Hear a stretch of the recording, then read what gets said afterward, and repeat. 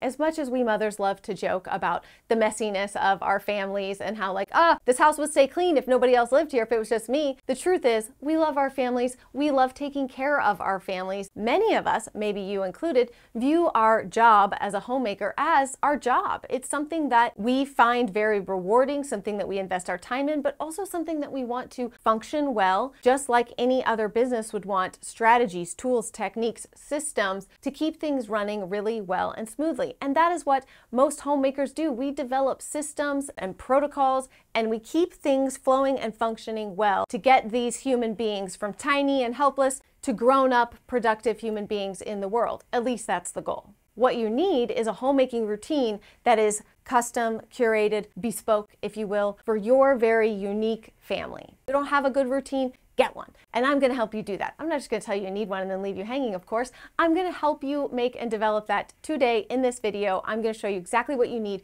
to build a homemaking routine, schedule, rhythm that works for you. The very first thing you need to know is that so often when we just download somebody else's idea of what a cleaning schedule, rhythm, routine should look like, and we try to just implement that in our own life, it doesn't really work. Copy and paste is not a really good method. We can often turn that into like very rigid protocols that we must follow, which of course, as you probably know by now as a mother, uh, flexibility is key. And if you try to have something that is like super rigid, super regimented, it's likely going to fail you every time. And then you are going to feel like a failure in return. Then you will give up. It's a whole cycle. This is why in the past, if you've tried other homemaking routines, schedules, cleaning things that haven't worked, it's likely because you were attempting to sort of copy and paste someone else's rhythm, routine, schedule into your own life, and that just doesn't work well. When we ask ourselves, all right, well, what did the women who came before us, the mothers, the grandmothers, what did they do? What worked for them?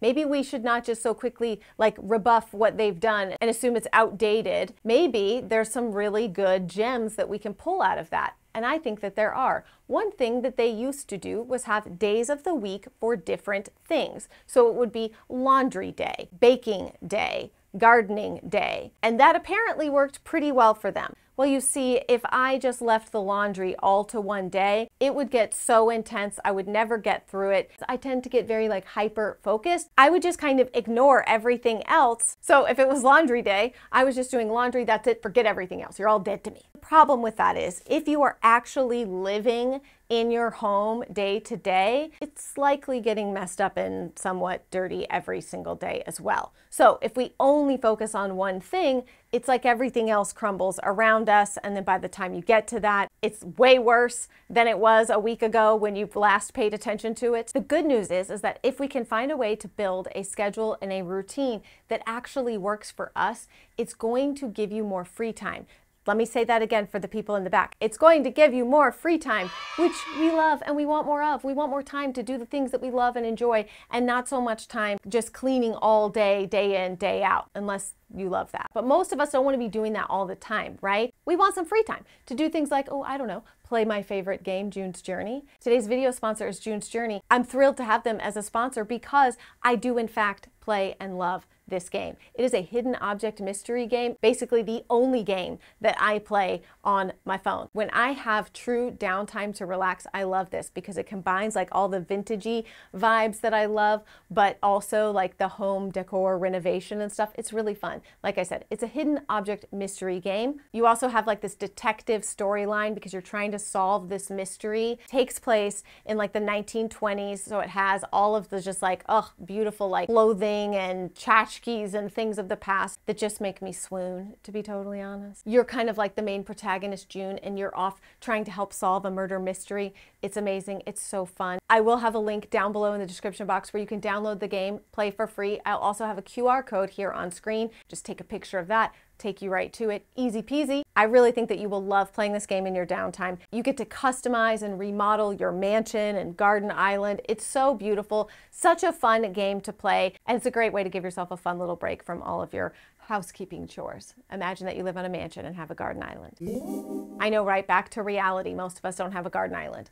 But if we did, we'd need a routine to take care of it. You need a spine. That is the first thing. This is the thing that I think often goes wrong in how we build schedules is that we don't think about the fact that we need a spine to our daily cleaning routines, rhythms, homemaking routines. Think of it like the core work that you do in school, you know, math, writing, and reading. Those are like the core subjects. Well, this is the same thing when it comes to homemaking. You need a spine. These are your daily activities that you need to do every day in order to have your home be in the condition in which you would like it to stay. If you try to save all of anything for just one day, most likely that is going to have like a multi car crash effect in your life. And what happens when life happens and you don't get to do that thing on that day? Well, now it's really backed up. You really have a problem because now you haven't done this thing for two weeks. At least in my experience, it's been very hard to have everything jammed up into one day a week. So to me, these are things like tidy up, do a 10 minute tidy, making sure that I've just kind of picked things up and it's not like a total disaster, running the dishwasher every night before you go to bed, uh, giving the floor a quick sweep, or for me, I grab my vacuum and I take the handle out and I use like the handheld portion and I just run around and suck up all the dog hair that accumulates in the corners and under the cabinets and stuff. It drives me nuts and it accumulates so fast. So that for me often takes the place of sweeping, a quick pickup with the vacuum of like the hair and other stuff that's made its way into my house during the day. Most of the tasks that are a part of my spine, my sort of daily routine schedule, are tasks that are going to take me five to maybe 10 minutes a piece. There are things that can be done pretty quickly and just part of the general upkeep of our home to keep anything from backing up. The great thing is, is like once you've developed whatever the spine is for you, now you can start building off of that. You can start adding in slightly larger projects or days or more in-depth cleaning in certain areas. If you're working on a big declutter,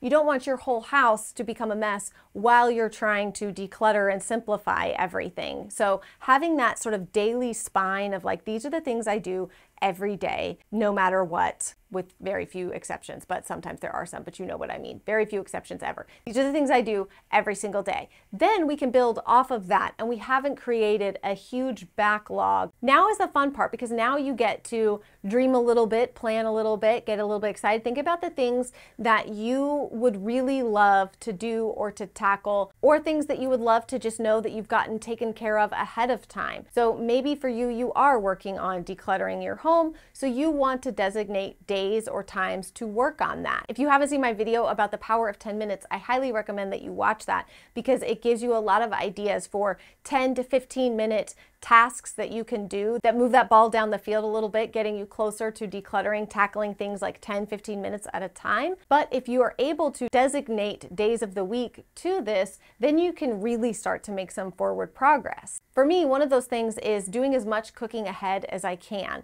It's one of the areas I've been working on a lot in building better systems and routines for my family is on our food because I just feel like we spend so much time in the kitchen cooking. So having a day that is designated after after and during my sort of daily spine of housework is being done, I'm building off of that by adding in, you know, time in that day that I am working on freezer meals or batch cooking a bunch of chicken with taco seasoning for our various Mexican meals throughout the week. And you don't have to do that. Whatever is going to be helpful or beneficial to you. Maybe as a homeschooling mom, you need a day for planning, regrouping, grading papers, and that kind of thing. So you can have that as one of your like theme days for the week. I like to think of them as theme days because it seems a little more fun. A theme sounds so much more fun than a task, doesn't it? The great part about this is it's totally unique to you. Your theme days can be whatever you want them to be, whatever you need them to be. I like to have an errand day. I'm such a homebody, I don't like to leave my house all that often. I prefer to just smash all my errands into one day and have a day where I'm going out and about in public, leaving my house. And the goal is to take care of as many of the errands that I need to run in a day as possible. I also like to have a deep cleaning day. So like I said, I have to kind of keep on top of either vacuuming or sweeping on the daily as part of my spine to my homemaking schedule. But I like to have a deep cleaning day and that's where I can tackle things like baseboards, fans, vacuuming out my air filters, maybe taking the covers off the sofa if they need it. It just kind of depends on what the house needs on my deep cleaning day. That is the day that I dive a little bit deeper beyond just the surface level cleaning. I also want to add here that I have eight children and they have chores, so they are helping with these things, with these daily tasks, as well as with some of the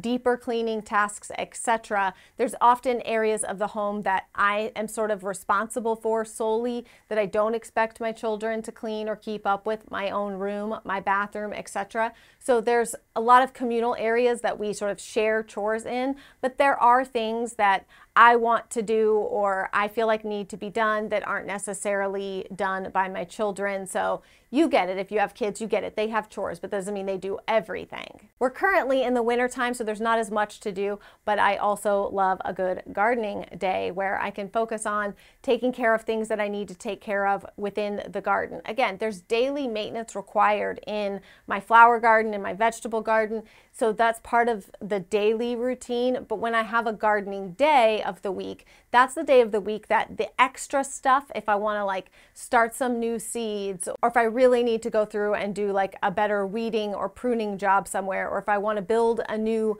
gardening bed for something, those are the kind of things that I can get done on my gardening day. When you are creating this schedule and rhythm, it's about developing for yourself what is the spine, what are the things that you are going to do on the daily, every day, and then having your kind of theme days on top of that, allowing you to do more, to get a little extra, to dive a little deeper into something. But the key is, can't get so rigid with this that it becomes a punishment instead of something that makes our life easier. So we have to be flexible, just like with everything in parenting, mothering, homeschooling, raising kids, all of it. Flexibility is key because life is going to happen. Things are going to get in the way. Things are going to happen and you're not going to get to your gardening day. I try to keep my theme days to be things that are not such high priority that if they get missed, if all I can do is my daily stuff that day, that it's going to be a big deal or cause a major like backup in my life. For me, that's how I keep this flexible and fun and something that works for me and can be easily